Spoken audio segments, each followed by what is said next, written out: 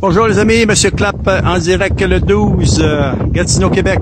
Regardez, c'est spécial. Il y a un arc-en-ciel juste au-dessus.